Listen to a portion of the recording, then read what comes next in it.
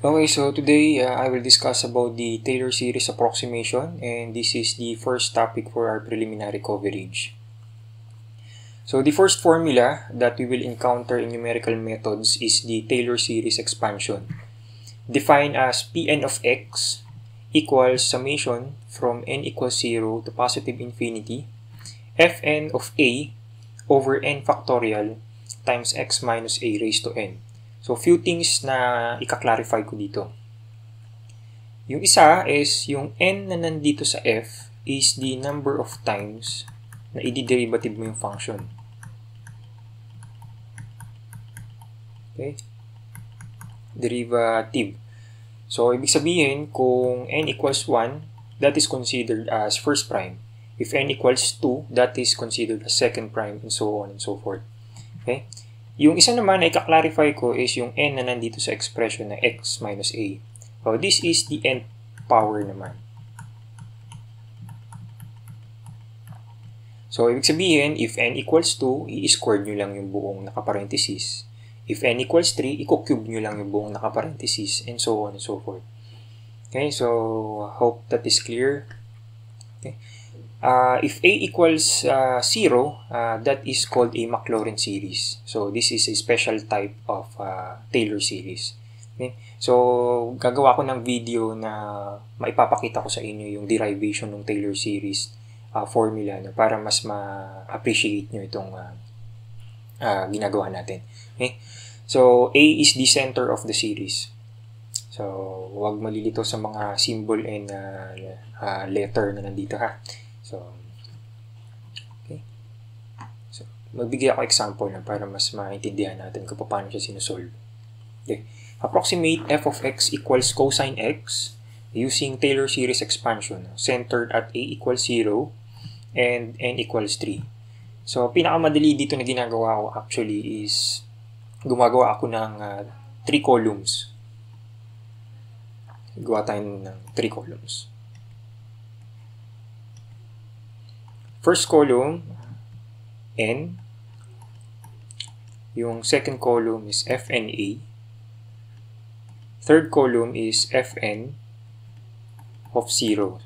So, bakit 0? Kasi yung A natin is 0. Okay? So, hanggang n equals 3, mag-start tayo kay 0, 1, 2, and then last is 3. Okay? So, evaluate natin yung given na function na cosine x at n equals 0. So, at n equals 0, hindi ko i-derivative yung function.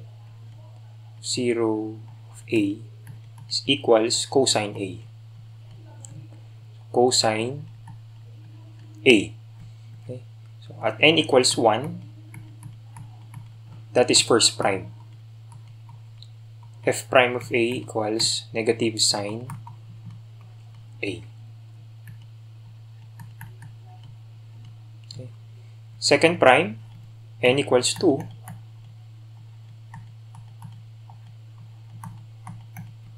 Negative cosine a. And then last is third prime, f triple prime Sorry dun sa mga tumatahol na aso. Sin A. Okay. The next, oh, madali na to, no? Isa-substitute lang natin yung A equals 0. So, cosine 0 is 1. So, lahat ng sine na in-evaluate sa 0 is 0. The negative cosine of 0 is negative 1. Okay? Okay, so, kompleto na natin yung uh, table, no?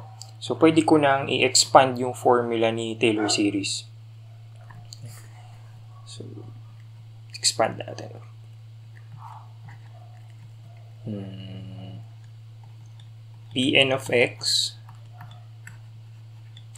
summation n equals 0 to positive infinity fn a over n factorial times x minus a raised to n.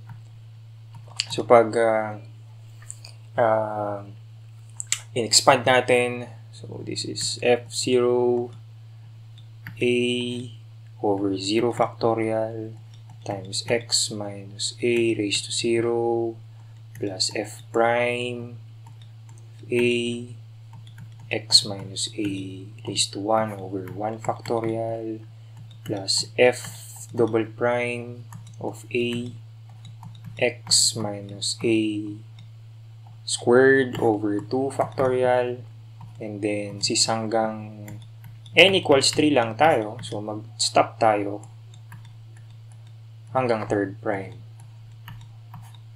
3 factorial times x minus a raised to 3 And then, i-substitute natin yung mga nakuha nating values kanina doon sa table. So, at n equals 0, so ang mga may values lang ay eto. Itong 1, tsaka itong negative 1. Okay, so, so ang may values lang, so at n equals 0 and at n equals 2. So, lahat ng odd number ay walang value. 0 lahat. So, odd number dyan ay ito cancel natin ito, and ito, cancel natin. So, lahat ng may mga values is ito lang, ito mga even numbers. So, yun, lagay natin, substitute natin.